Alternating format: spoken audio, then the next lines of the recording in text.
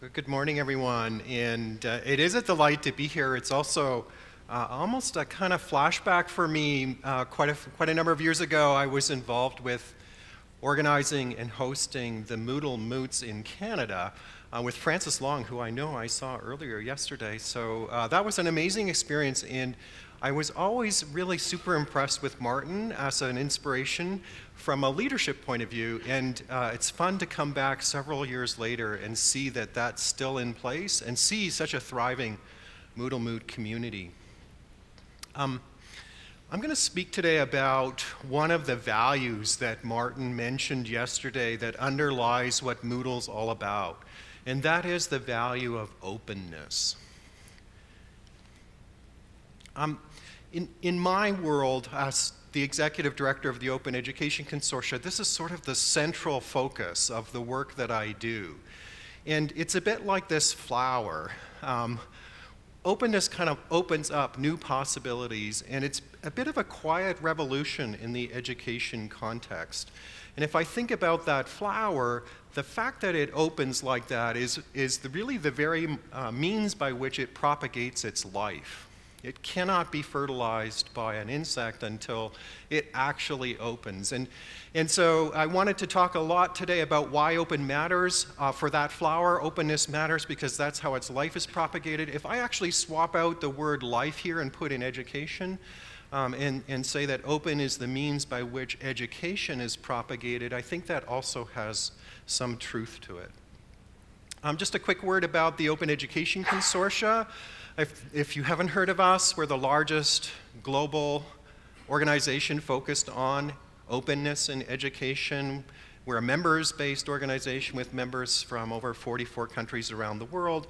Um, most of our members are in higher education, but not exclusively. We have lots of uh, members as well from different organizations, including Moodle, actually. Moodle recently joined us as a member, so thank you for that, Martin. Um, and we're, we're actually planning to expand out our membership to include K-12, corporates, and even individuals in the coming months. And there's our website if you want to find out more about us. Um, for us, open education is really about creating an essential shared social good. Uh, we're really focused on the, the notion that education should be accessible to all, and the, and the Open Education Consortium is really about capacity building, enabling collaboration, supporting innovation around open education practices. And so it's actually a really exciting space that we're in, and, and I've been really having a lot of fun in this, in this new capacity. Um, um, Bob mentioned that I, I was involved in, um, in writing a book um, when I was at Creative Commons. And, and here's a, a, little snapshot of what that book looks like. It's called Made with Creative Commons. I'm actually going to draw on some of that work in today's talk and share with you some of the insights that we gained around how open business models work, not just in education, but across all sectors. Um, so this is one piece of uh, work that I want to draw on, and then this is another piece of work I want to draw on, which is, which was really sort of my depiction of what the roadmap for open education looks like. Uh, I, I won't be able to go through all of this roadmap with you today, but this is what I created as a sort of snapshot of what open education looks like across all sectors and where it's going from both a, a where it's growing currently and where it's germinating. Um, and while I won't be able to talk about all of that, I do want to talk about this part of that diagram, what I call the big open. Um, and this refers to all of the different ways in which open is manifesting itself in education. Many of, uh, many of you have been speaking a little bit about over the last day open education resources in the context of Moodle. And there's also been, of course, the recognition that Moodle itself is open source software. But in the education space, there are these many different forms of openness. And I thought today it might be useful for me to highlight for you all these different ways to kind of shine this light, if you will, on open education and all the different ways that openness is actually unfolding within the education space. So if I start at the bottom left corner, and I know this might be hard to read from the back, so I'll, I'll kind of quickly go over each of these forms of openness. But it, the, the kind of pink one in the, in the bottom left corner, um, is open source software and open source hardware. There's a lot of that starting to unfold within education. And then above that is Open GLAM. Um, and GLAM stands for galleries, libraries, archives, and museums. And then there's open science, open access, open data, open government, open policy, and open education resources. All of those are taking place inside education right now, this kind of quiet revolution. But they're all kind of siloed from one another mostly, and so I wanted to speak today about all of them and explore with you how there might be some synergies between them all as we start to see them coalesce. Um, on this diagram, there's a little kind of brown line that goes across the, the screen that represents where the ground is. And all of those forms of openness that I just described are, are kind of above the line. Um, and then there's below the line, there's some things that, that I say are germinating. They haven't yet quite come above the ground. And I won't be speaking much about them today, but they include additional open technologies, the use of open data, especially open student data, and the potential for institutions to embrace all of these forms of openness and become a complete open institution and promote and market itself as being so. Um, and along with that comes a whole variety of, of uh, enterprises seeking to support that. Okay, so I want to uh, focus now on each of those forms of openness and just speak uh, with, with you briefly. I'm actually, I snipped a bunch of videos. I thought I'd try this really different technique for this presentation. I hope it works. I was working with the AV guys earlier on this, but I snipped a bunch of videos of people talking about each of these different forms of openness. And I want to share some of those videos with you as, uh, to hear, let you hear not just from me, but from other people who are, who are working in this space. But let's start with open source software. Um, and clearly, open source software is, is software that the source code is open and, and allows anyone to inspect, modify, and enhance it, and that's really an integral and important part of what Moodle is all about. And I was really, um, you know, this picture of Moodle's uh, adoption around the world that Martin shared yesterday in his keynote, I think is a really amazing example of how openness enables things to be easily adopted to have there be the possibility of rapid dissemination all around the world in a way that cannot be achieved when you're using closed proprietary methods. And so openness enables this kind of easy to adopt, rapid dissemination, very scalable, and also because it's open and people can look at the code and modify the code and get their hands on improving the code, I think it also results in a, a much higher quality product. I'm going to jump now to uh, a few examples from open source hardware. I'm going to start with um, Backyard Brains. Open source hardware basically refers to the idea that the hardware, and this is hardware that's used in the education context, is designed, the specification for the hardware is, is, is completely licensed in a way that can be studied, modified, and created or distributed by anyone. And here's Greg Gage, who's one of the founders of Backyard Brains, talking about uh, why they went with open source hardware, what the, why the openness part matters. The brain is an amazing and complex organ. And while many people are fascinated by the brain, they can't really tell you that much about the properties about how the brain works because we don't teach neuroscience in schools. And one of the reasons why is that the equipment is so complex and so expensive that it's really only done at major universities and large institutions. Uh, and so in order to be able to access the brain, you really need to, you know, dedicate your life and spend six and a half years as a graduate student, just become a neuroscientist, to get access to these tools. And that's a shame because one out of five of us, that's 20% of the entire world, will have a neurological disorder. And there are zero cures for these diseases. And so it seems that what we should be doing is sort of reaching back earlier in the education process and sort of teaching students about neuroscience, and so that in the future they may be thinking about possibly becoming a brain scientist. And so, when I was a graduate student, my lab mate Tim Marzullo and myself decided that you know what if we took this complex equipment that we have for studying the brain and made it simple enough and affordable enough that anyone, uh, you know, an amateur or a high school student, uh, could learn and actually participate in the discovery of neuroscience. And so we did just that. A few years ago, we started a company called Backyard Brains. And we make DIY neuroscience equipment, and uh, I brought some here tonight, and I want to uh, do some demonstration. So, I really encourage you to actually watch the. this is a TED talk that, that Greg did, and, and it, the actual demonstrations involve uh, students controlling the arms of different students using these these uh, hardware systems. It's really quite amazing.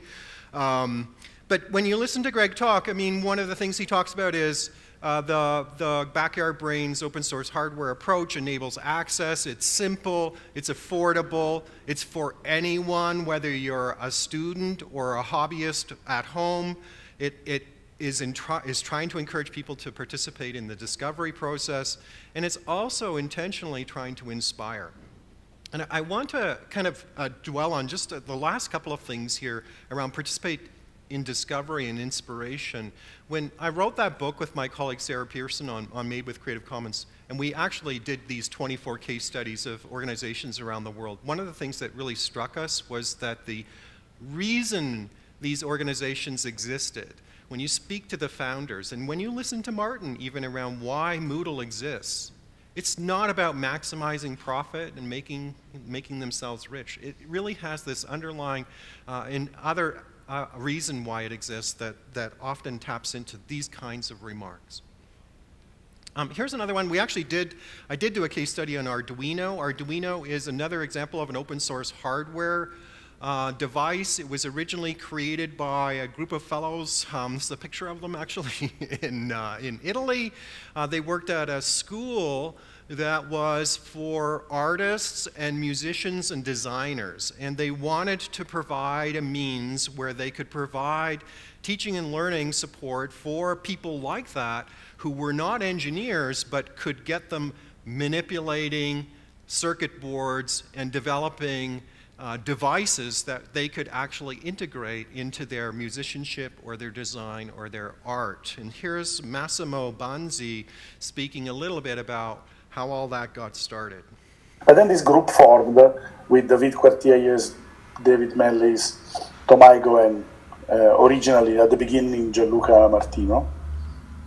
And one of the things that we did when we designed the first Arduinos was um, we wanted to create a tool that would be cheap, that you could assemble yourself if you wanted to, that would be open so that people could, you know, create uh, could derive from the design and would make it simple for people to learn about programming microcontrollers and doing electronics the way we do it you know in this in this century one of the advantage of using these small computers these little microcontroller chips is that when I learned electronics, you had to build circuits from individual components, from resistor, capacitor, transistors. Every time you wanted to change the behavior you had to redo the circuit. Well, in this case, you could change the behavior of a device by just changing the code a little bit. And this is a huge step. So when you listen to Massimo, uh, the openness for them equals uh, a means for doing something cheaply or affordably. Some, it allows people to assemble things themselves. Um, importantly, it allows people to create derivatives. This is actually a really um, important aspect of openness, the fact that you can actually take a copy of the thing and create a different version of it that is yours, that is uh, modifiable by you, something that can be simple, something easy to change. I also put up a logo for the Arduino open source community. Um, one of the things that became apparent when you speak to the founders of Arduino about the whole evolution of their company is that they had a product roadmap for what they were originally trying to do with the Arduino boards. But when more and more people started to engage in the use of Arduino and they built a community around it, one of the significant things that happened was that community completely changed where the roadmap went, not unlike the session yesterday where all of you got to provide input into Moodle's roadmap. And so that took the whole product in a direction that they had never, ever imagined in their wildest dreams and really enriched it over time. I want to move from uh, open source software and open source hardware to Open GLAM, GLAM, Galleries, Libraries, Archives, and Museums. And this is really a fascinating part of uh, what's happening in the world these days when you look at those institutions and the way that they're making their digital heritage works openly available to everyone in the world. And uh, at our, the Open Education Consortium does a global conference once a year, which we did just back um, in spring earlier this year. And we, one of our keynote speakers was Annemies Broekgaarden from the Rijksmuseum. And she gave this fantastic presentation. I wish I could show the entire thing to you, but I'm just going to show a snip. But first, I tell you about one of the most radical decisions we took on our journey to discovery. And this decision goes a long way to explain Rijksmuseum of the Rijksstudio's enormous success. This is a, green, a screenshot of Johannes Vermeer's famous painting The Milkmaid, provided by Google Images. There are a million copies of this image on the internet, in all kinds of variations. So which image corresponds to the real Vermeer?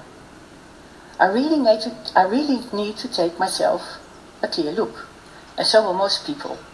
Too bad if we are all looking at the wrong image. And in this jungle of images of different sizes and colors, the Rijksmuseum wanted to deliver high quality. So we wanted everyone to be using the best image, closest to the original. And the original hangs in the Rijksmuseum, so we photographed it.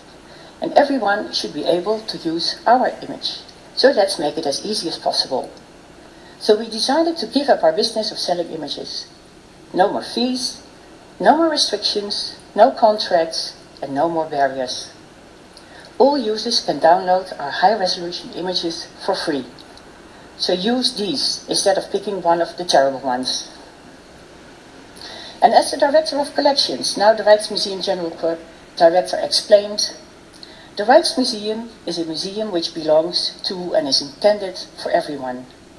As we launch Rijksstudio, we are excited to share our extensive collection with art lovers around the world, using the latest digital technology. We created Rijksstudio in the belief that the Rijksmuseum belongs to everyone. The collection inspires, and we want to unleash the artist in everyone.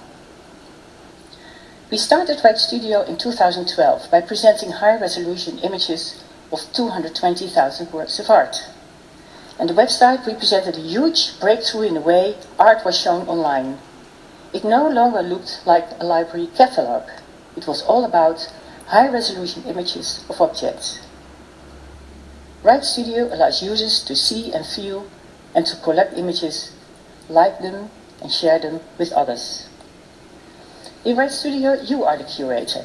You can create your own selection in your own studio, whether you base it around the color red or around beautiful butterflies. And above all, you can reuse the images in any way you like Select, use, and do what you want. Use it for the cover of a magazine, or wallpaper your home with it, or restyle your car. Our Rijksmuseum is your Rijksmuseum.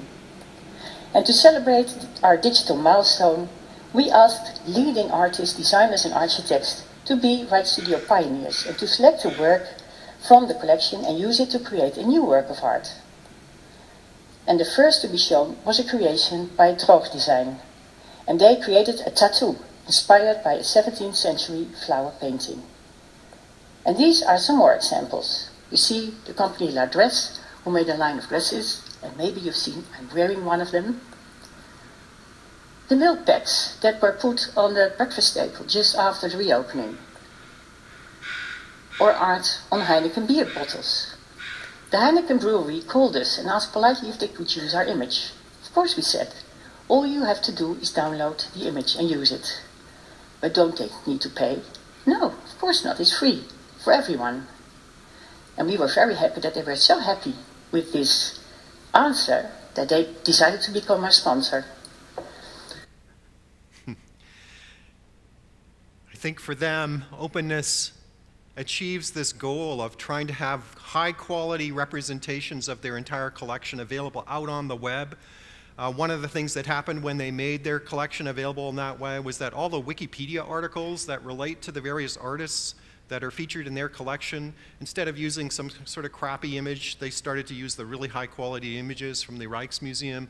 But also you can see that they're trying to eliminate the barriers that existed in the past to people actually having the opportunity to look at and use their collection. No more fees, no more barriers.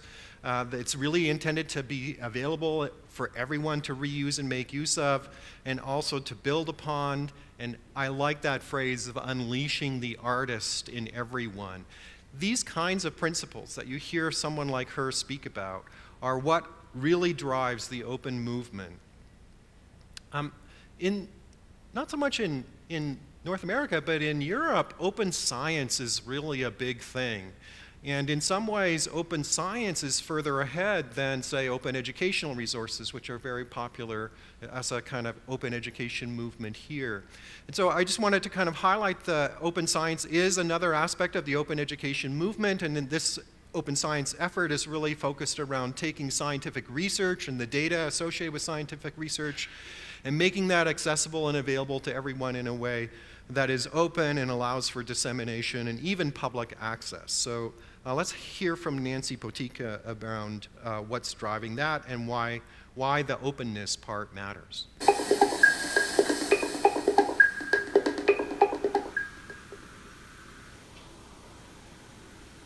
Open science benefits equally all research stakeholders. First of all, with regards to researchers. Open science increases the visibility of the researcher's profile. Studies have concluded that open access content attracts higher citations than content behind access barriers. In addition, the open provision of research data and lab notebooks increases the active participation of the research community and speeds up the dissemination and conduction of new research. Now, by combining and linking all the research outputs together, Researchers can create a complete profile of their work, which is not limited to peer review research publications only, but extends to the rest of the research related components. That way, researchers can create a strong case not only about the research impact of their work, but also of the societal impact. With regards to the institution, the benefits for the research institutions relate to prestige and the cost savings for conducting research.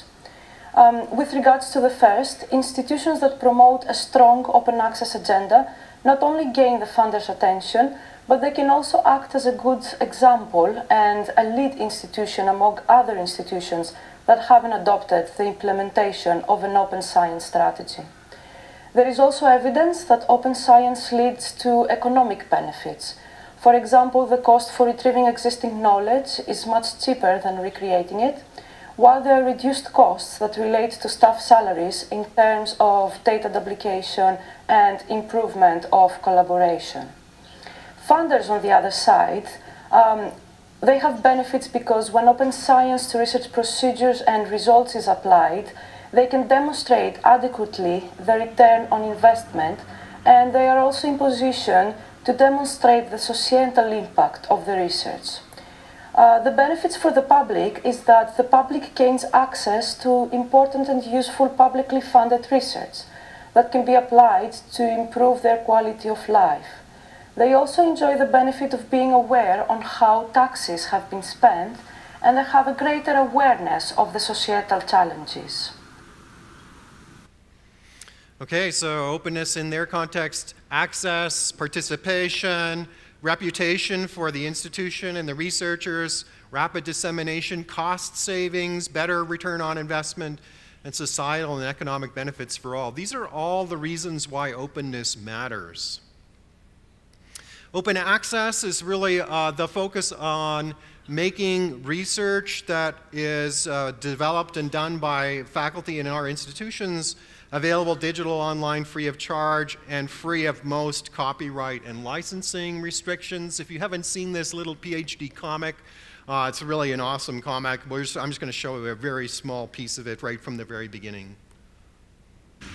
Open access is free, immediate, online availability of research articles with full reuse rights.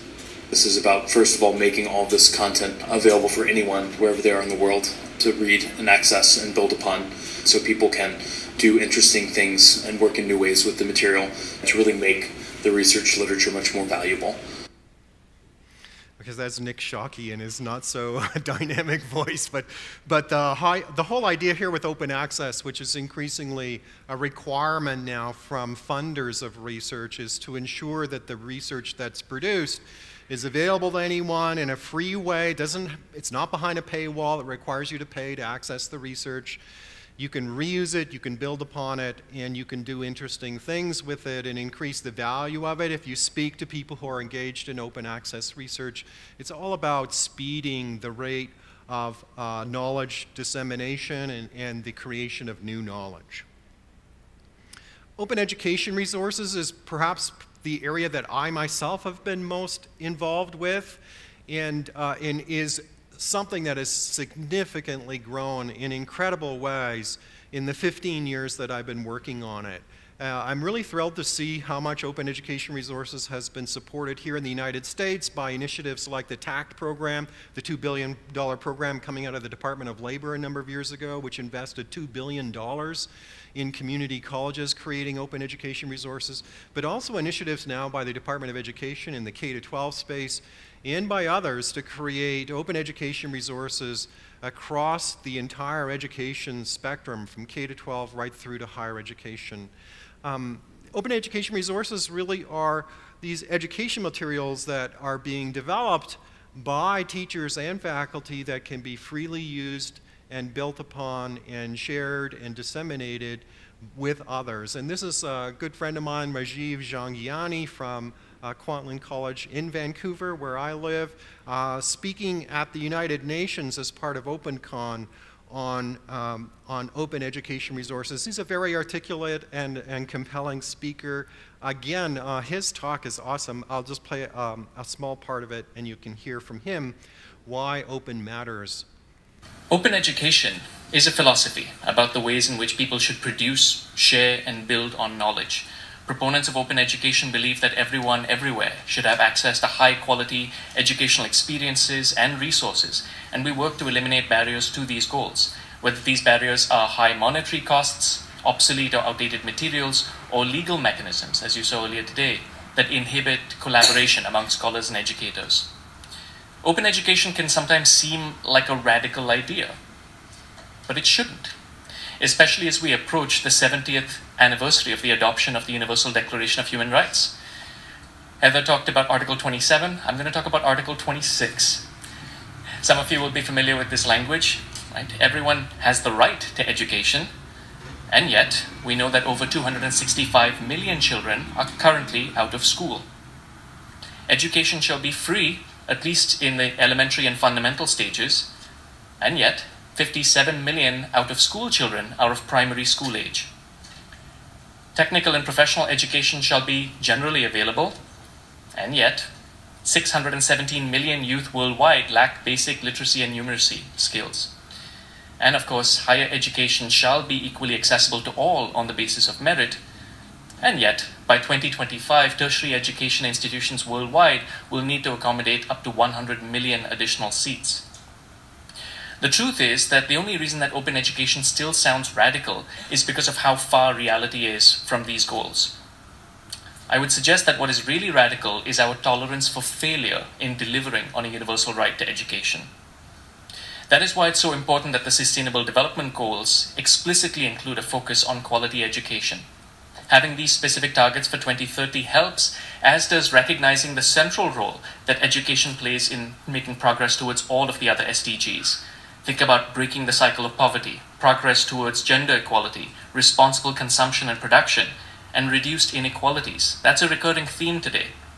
But on that note, it's important to acknowledge, as SDG 4 does, that an education that is not inclusive, an education that is not equitable, really only serves to reinforce and replicate existing power hierarchies. One incredibly powerful tool that is being effectively deployed right now worldwide in service of SDG 4 is Open Educational Resources, or OER. OER are teaching and learning resources that are published with an open license. These can include textbooks, instructional videos, interactive simulations, lesson plans, and much, much more. Publication with an open license means that the copyright holders are choosing to permit others to freely reuse their work for any purpose, to retain their work forever, doesn't evaporate, and even to redistribute their work to others. But it's more than that. They're also choosing to permit others to build upon their work by adapting it for the local context, for example, by translating it into a regional language. For example, in Senegal, which is one of the fastest growing markets for self paced online education, the project CSD is translating and adapting STEM OER to fit local needs. Open licensing also often permits others to, to earn a livelihood based on their work by building and selling services around the resources, in the process, spurring economic growth. yeah, goes on and on. But I think Uh, Rajiv makes a compelling case for open education resources, generating some uh, significant benefits around access to education worldwide, around uh, eliminating barriers having to do with money and legal issues, around the way that they are inclusive, around the options that they provide for free use, for retention, for redistribution, the way that they can be built upon, and the way that they can enable people to earn a livelihood. All of these things are why open matters in the context of open education resources. There are a few other areas of open in education that I just want to touch on briefly. I'm not going to show video clips associated with these, uh, but I wanted you to hear diverse voices talking about open education, not just Paul Stacey talking about it. Um, open data is data that is uh, freely available to anyone to use and republish as they with, wish without restrictions from copyright, patents, or other mechanisms of control. I will say that in the open education space, open data is emerging as a little bit of a controversial topic. And you can see from the slide of Chris Gilliard that openness is starting to be thought of as, a, as a, uh, something that might enable our ability to be free from surveillance, from extraction, and from monetization of data. Um, even in the context of learning analytics and the way that those are baked into various tools and technologies, there's a lot of questioning going around the open education movement and community around who owns that data and when terms and conditions require students to turn over the use of that data for various purposes that don't necessarily serve their needs, uh, there's a lot of questioning around whether that's something that's okay.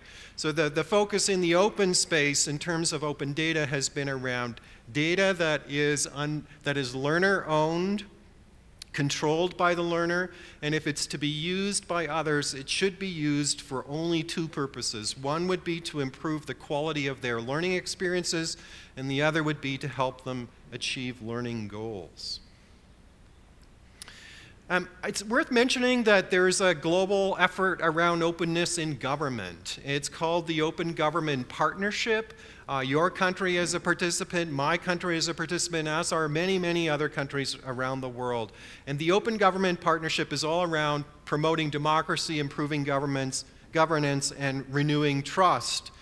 Uh, one of the things that's become interesting with the Open Government Partnership is that open education is being integrated into the platforms and action plans of governments around the world as they try to show how they are supporting openness to achieve these kinds of goals. And so, uh, so for them, it's kind of like um, trying to show that there, there really is a high value to open education and that it supports that kind of agenda. agenda. Associated with that, too, is uh, what I'll call open policy, which can exist at the government level or at an institution level, and really is around supporting the openness of education through policy. A lot of what happened in open education happened from the grassroots level, uh, but of course, to really make it sing and to see it flourish, you need top down support meeting bottom up support, and policy is that means by which that can happen to achieve the full benefits of openness. And one of the other driving forces of policy around this has been the notion that when the public funds something, whether it's research or education, the public ought to have access to what it has paid for. I think that's actually an argument that most taxpayers would agree with. Um, here's a few examples of how open policy is playing out in the education space. Uh, policy approaches to education uh, coming out of the European Union, a great uh, OER state policy playbook from uh, SPARC here in the United States, and also I was just recently at the Open Education Policy Forum, which took place in Warsaw in Poland, that gathered together those of us that are engaged in formulating policy on behalf or in support of governments and trying to coordinate what does the optimal policy look like. Uh, one of the exciting things from my point of view is that here are all these myriad ways of being open in education. How can we combine them? Um, and we had a keynote speaker at uh, OE Global in Delft in the Netherlands, Erin McKiernan from Mexico, who talked a lot about how she, her work as a faculty member is combining the use of open education resources to do actual scientific experiments which generate open data using tools like Backyard Brains and others to, to kind of, uh, that are open source and then actually publishing the results of that kind of work in an open access way. So there's, this, there's sort of an interrelationship between all of these different forms of openness that I think has some exciting potential. Okay, so, so that's the big open, the kind of tree on the left. I've kind of quickly done a very sort of skim surface survey of all of those forms of openness and how they are playing out in education. And many of you may be aware of, of one of those, but I hope uh, with my talk this morning I've kind of raised your awareness of all of those forms in, in education that are flourishing and starting to take root because of the openness part of how they work. I'm going to switch now then to talk about this, which is really related to the sustainability question that was brought up yesterday several times around when we're open like this, how do we sustain ourselves? This is the driving question that led us to write this book, my colleague Sarah Pearson and I. I have done work with Creative Commons for many, many years, and, and probably you may have this question in your mind, or if you, you are a supporter of openness, you may be dealing with faculty who have this question, which is, why would I take work that, I, uh, that I've created and share it to, for others for free for them to use uh, when that's the basis of my livelihood? How will I continue to earn a living? How can I keep the lights on? And, uh, we, and yet we know from all those examples that I just went through within the open education space that it's happening a lot. And so how does it work? From an economics point of view. And that's what drove us to look at, uh, we actually did a Kickstarter campaign, raised a bunch of money from over 1,600 backers to write 24 case studies and then develop a big kind of macro framework that provided some guidance and strategy for others who are looking to, to move in this direction that allowed them to understand how it made sense from an economic and social aspect. And, and part of that related to how a commons works, which I'll come back to in a moment. Oh, I should say, by the way, the book is available for free at this URL. It's openly licensed. You can download it. You can reuse it. It's available in EPUB and PDF and all kinds of and editable formats as well. Um, here are the 24 organizations that we did a case study on from around the world.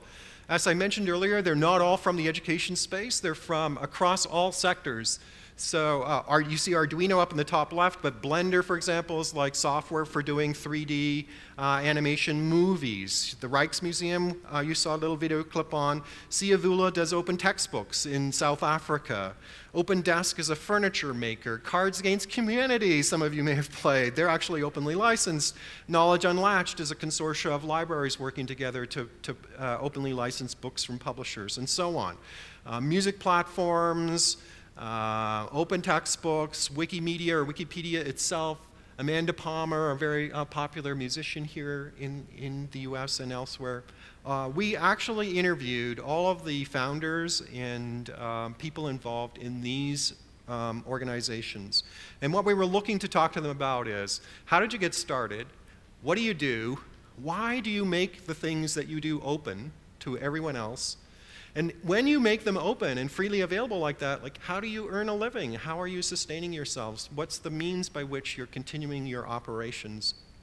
What open license do you do? And also, what's your motivation? What drives you? I won't go into each of those case studies, but instead I thought I'd provide some sort of high level summary of some of the key takeaways from our uh, 24 case studies, the sort of macro part of the book, and if you want to read about the case studies, go ahead and download a copy. Uh, one thing that became apparent is that open and open business models is not business as usual. It's sort of open is like business unusual. It's unusual in that it's not about maximizing profit and getting rich. It's not about restricting access, it's about maximizing access. Normally, for most businesses and organizations, you know, you have an asset, and if someone else wants that, they have to pay you first. So there's restricted access to that asset. But in the open space, the asset is actually made available freely to everyone immediately. You get value first, and then a, uh, a means of providing support reciprocally is, is sought or put in place. It's not about monetization of commodities, it's not about extraction and consumption and selling to the highest bidder, nor is it solely about the bottom line, but clearly all these organizations have to, have to pay some attention to that. So, open is business unusual. It's also driven by social good. Virtually every one of the case studies that we interviewed had as a mission and vision the similar kinds of missions and visions to what you heard from Moodle yesterday. That there's an aspiration to make the world a better place in some significant way.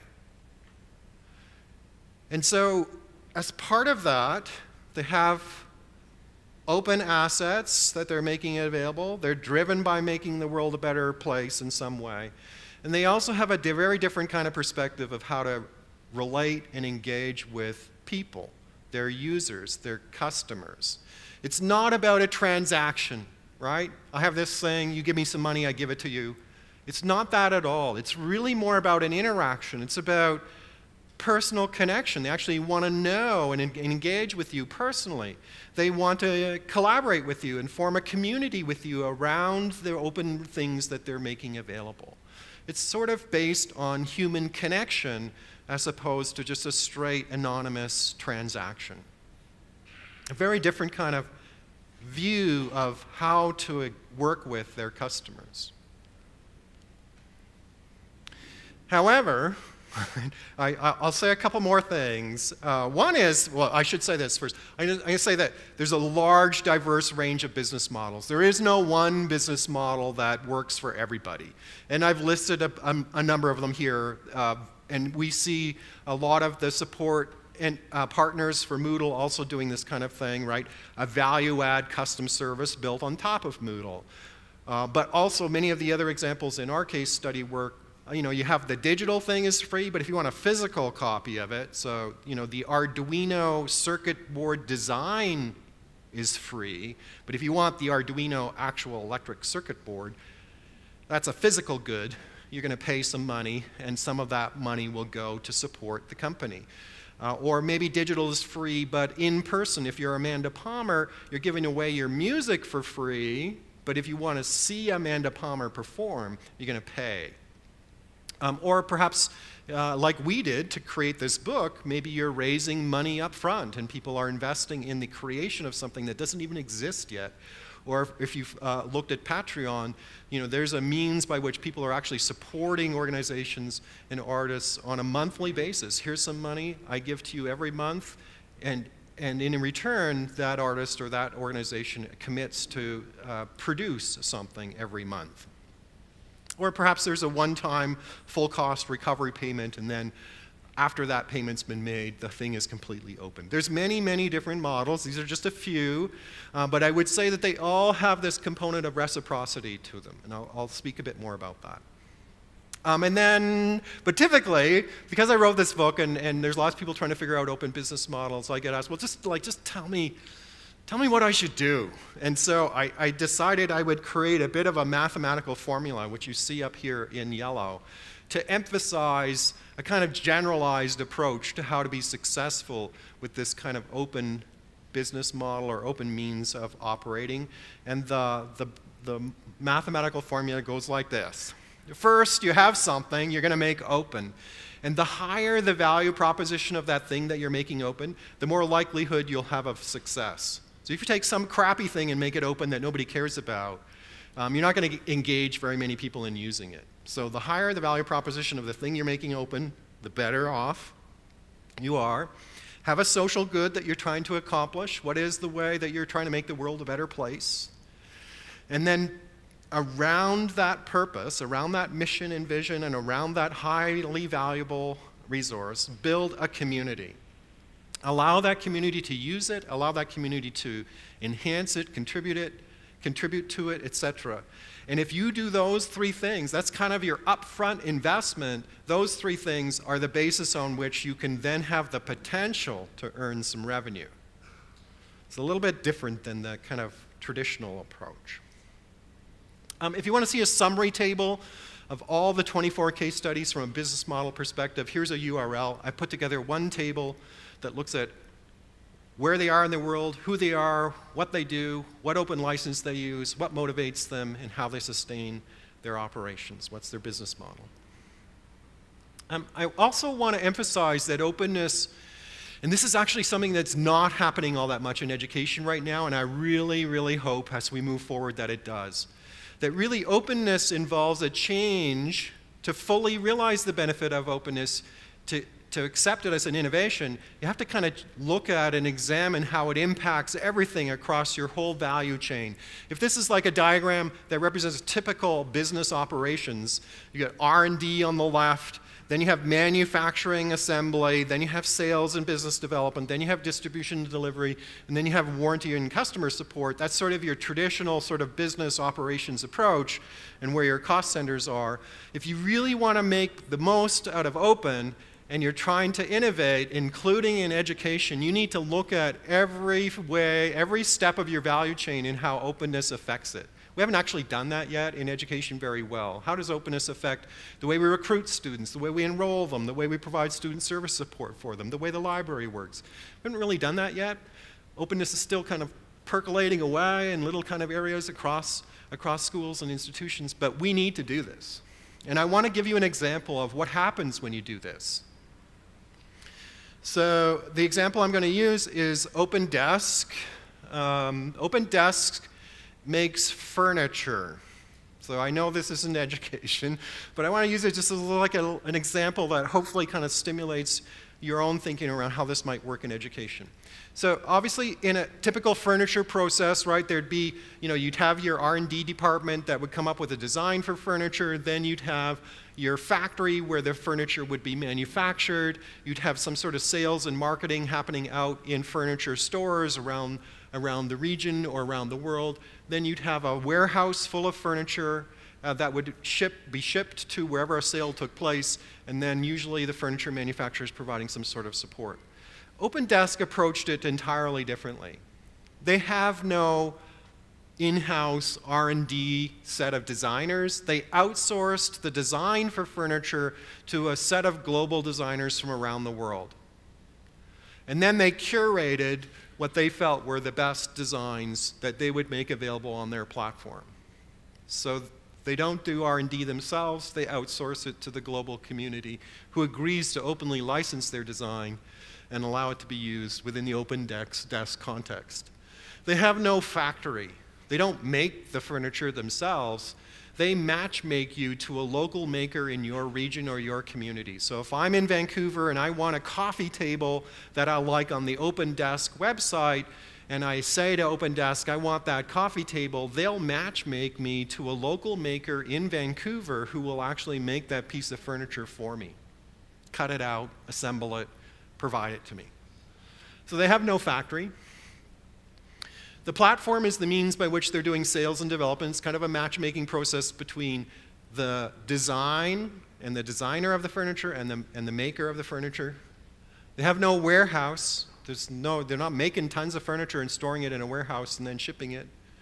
And the actual support for customers is kind of a partnership between OpenDesk and the maker. So for them, uh, their whole examination of openness across all these business processes led to a greener means of producing furniture, less costly means of producing furniture, more sustainable from the environment perspective, a kind of personalized way of manufacturing furniture because every, you know, if I look at that coffee table and I want a slightly bigger one, because the coffee table design is openly licensed, I can actually change the design and create a slightly bigger table and have that made. And also, um, one of the delightful things about their work, which I found really fascinating, was that all of their customers tend to have uh, this uh, enthusiasm for the OpenDesk furniture because it has a story. They know the provenance of the furniture. If I get that coffee table and you come and visit me, I can say, this coffee table was designed by so and so from such and such a place in the world. I had it made by such and such a place just around the corner it has a story. You know the provenance of that furniture. Whereas this furniture that I'm seeing in front of me, I have no idea. I have no idea who made any of that. So all, all this to say that it's really important to consider how openness impacts all of the, all of the value chain associated with your, your, uh, your education organization or the business you're trying to create. Um, and the last couple of things that I want to say.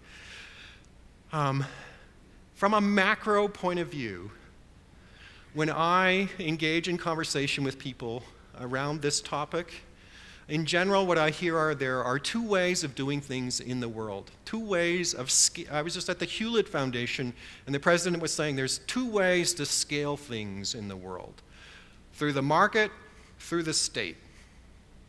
Those are the only two ways. And I'm sitting there going, that doesn't quite sound right to me because I know there's this third thing called the commons. And anything that is open is essentially something that's part of the commons. And the Commons has a long history, but the Commons is an incredible means by which we have seen examples already of how things can be rapidly disseminated, how they can scale, how can they spread around the world, how they can remove barriers, how they can level the playing field. So there really are these three ways of doing things, not two. We don't hear politicians talking much about the commons, especially not in the North America context, but in the European context, there's quite a bit more talk about it, especially in places like Barcelona.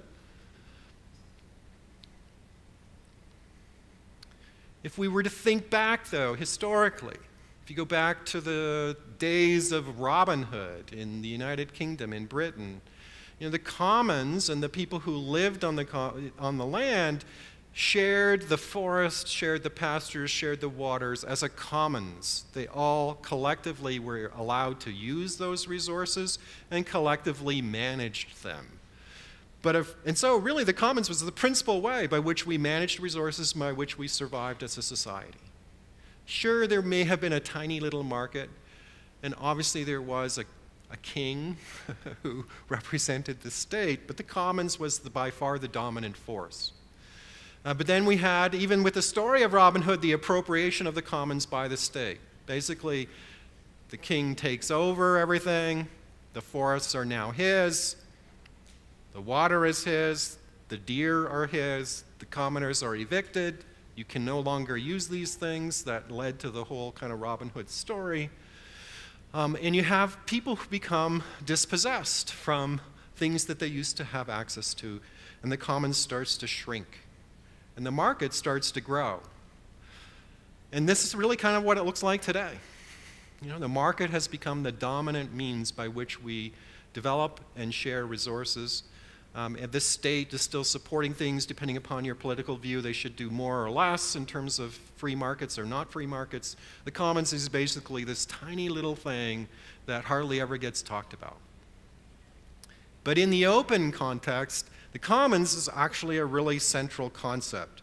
And I want to just talk to you briefly around how we framed it in the uh, Made with Creative Commons book. This is the part that I wrote about, so this, you get some of my passion here. Um, Wikipedia could be thought of as almost, almost a pure commons play, right? It doesn't rely on state funding. It's not a market play.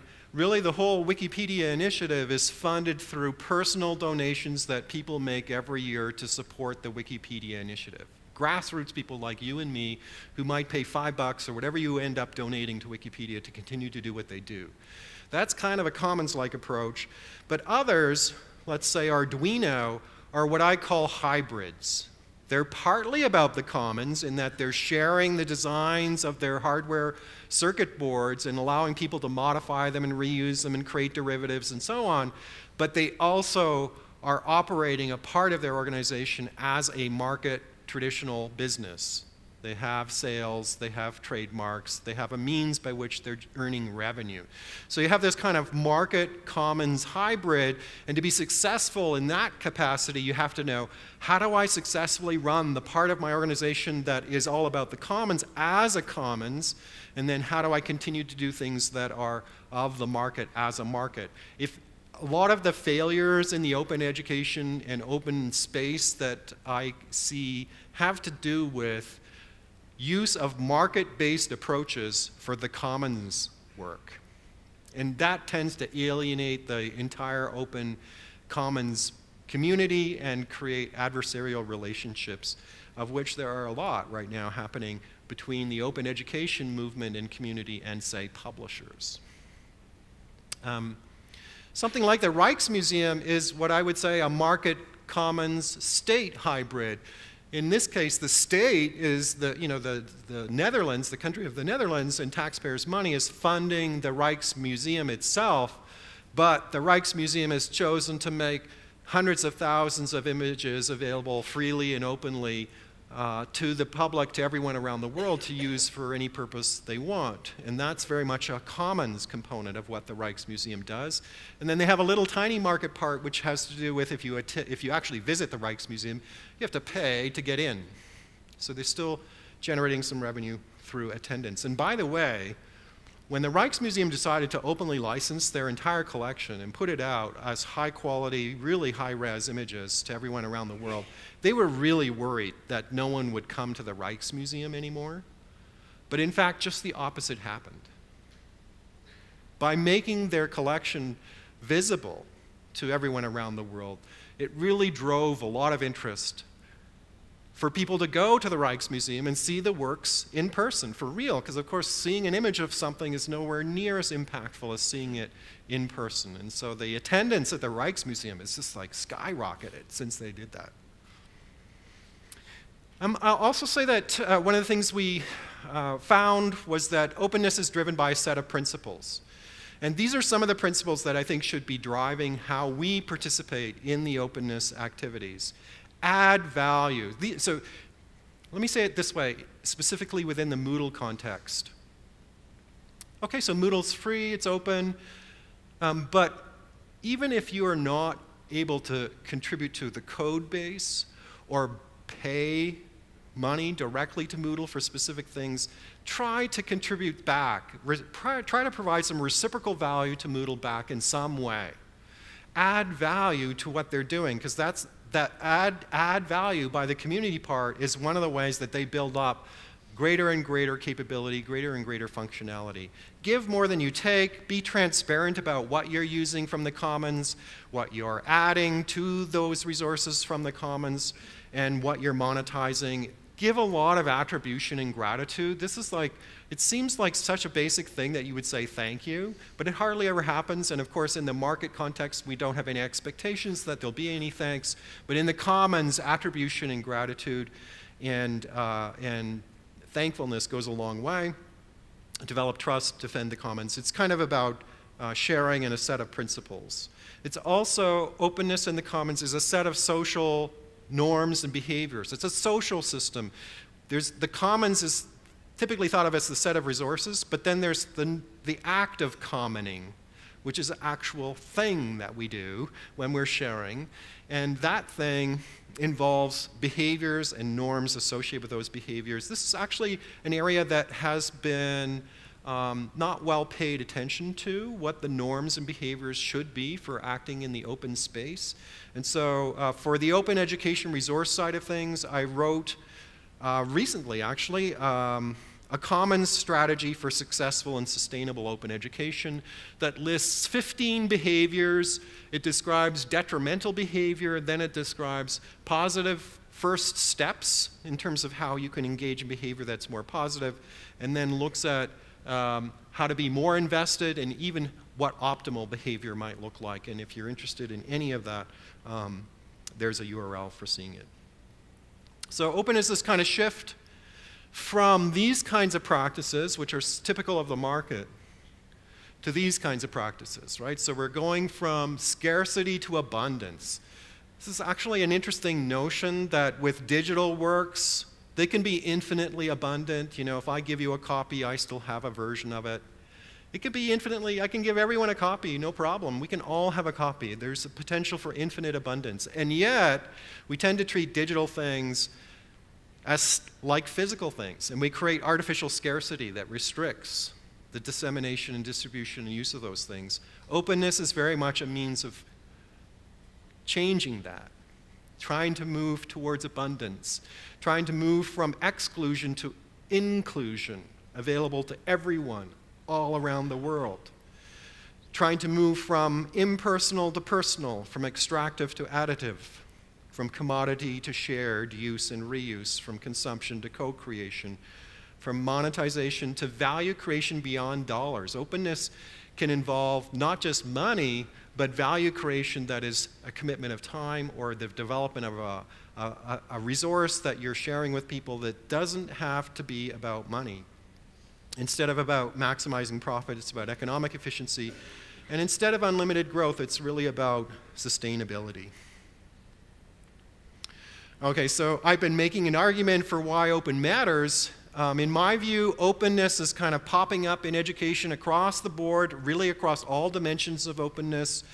And part of our role, part of our function, and the way we can help enable openness in education is by supporting each of these forms of openness. Add some water and some sunshine to them. That's what makes them thrive.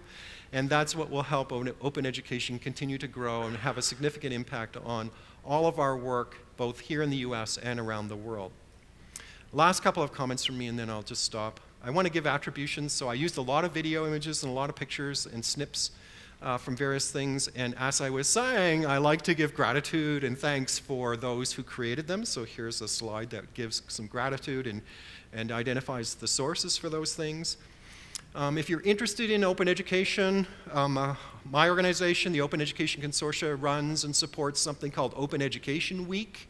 It happens every year. Um, this coming year, in 2019, it will be March 4th and through the 8th.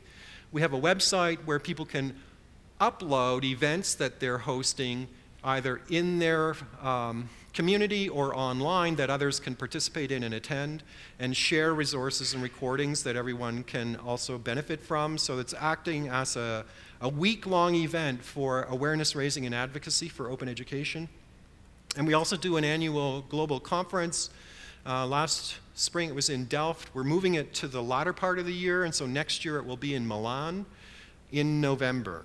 Um, and if you're interested in open education, uh, please come. This actually is the biggest event that focuses on open education globally. There are other events around open education that focus on open education regionally, here in the US and North America and here in Europe, or, or in Europe. But this one is uh, very much open education from a global perspective.